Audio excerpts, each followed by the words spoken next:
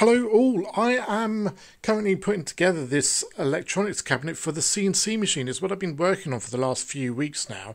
Um, starting off with getting this electronics cabinet and cutting out all the various ports for everything and 3D printing everything.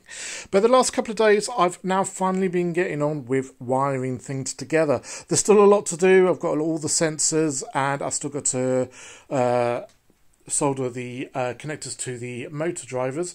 But um, yeah, it's starting to come together. And if I believe that's all turned on, um, it works.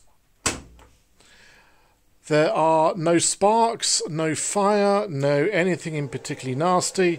It's just doing what it's meant to be doing.